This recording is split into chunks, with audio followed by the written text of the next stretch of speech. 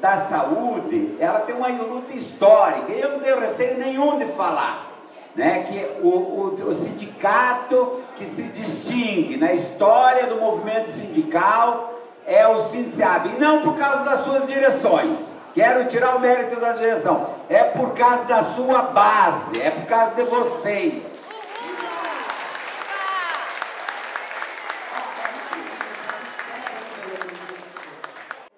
Vocês fazem de fato o sindicato ser o que ele é.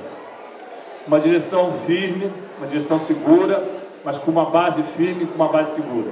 E que tem certamente muitos desafios pela frente. Os 25 anos de luta do Sim de Saúde para a classe trabalhadora significa que ele pautou muitas lutas, foi ator e não foi simplesmente um mero espectador, conquistou muitas coisas para a categoria e continua na luta de todos os sindicatos estaduais do Paraná, é o sindicato mais atuante, sem dúvida nenhuma. E é o que realmente mobiliza a categoria, que leva as categorias para as lutas, para as ruas, para os movimentos. Então, eu tenho orgulho desse sindicato. Para nós está sendo só o início dessa festa que a gente pretende levar à frente e comemorar novamente mais 25 anos. O Hospital de Guaraqueçaba é um, é um hospital que não está tendo muito incentivo da, do governo. Sem, sem o sindicato, hoje em dia não, os hospitais não seriam, já, já são difíceis com, do jeito que são e com o sindicato está conseguindo melhorar um pouco mais a, a situação. Eu fui uma das fundadoras do Sindicato de Saúde.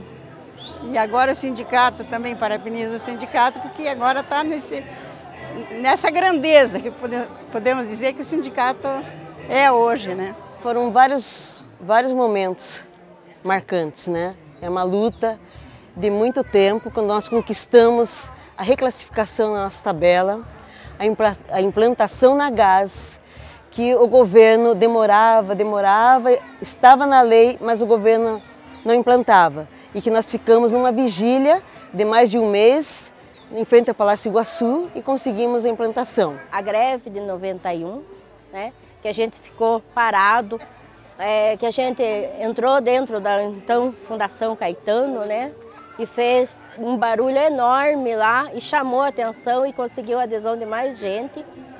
Os novos funcionários venham para o trabalho sindical. Ele é importantíssimo e faz com que a pessoa cresça também dentro não só do trabalho sindical, mas como uma pessoa, como um ser humano. Para mim, particularmente, representa-se muitas lutas, muitas conquistas, né? É, é, assim, a gente batalha bastante e a gente tem encontrado bastante, tem, tem tido bastante vitórias, teve muitos alcances. Os funcionários têm que ser mais unidos, vem, vem para a luta, vem para a luta, vem para a rua, né? Vem brigar. Eu acho assim que eles têm que sair mais e vir. Nós somos fortes. Eu não sou ninguém.